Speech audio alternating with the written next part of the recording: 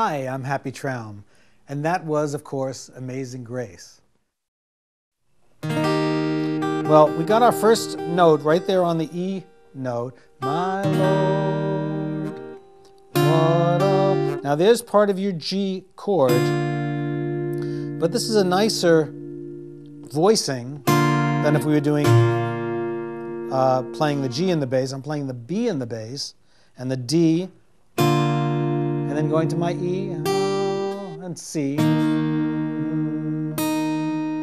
My Lord, this is my E minor with a G in the top, and of course I can now play my bass E.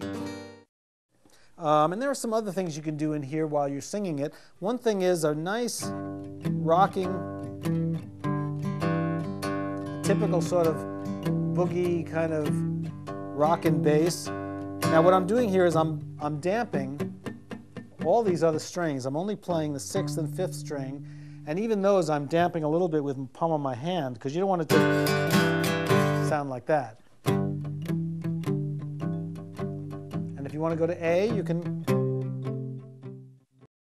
And as I say, it's, it's a little bit of Reverend Gary Davis and mm, a lot of other people also thrown in, including my own ideas. So.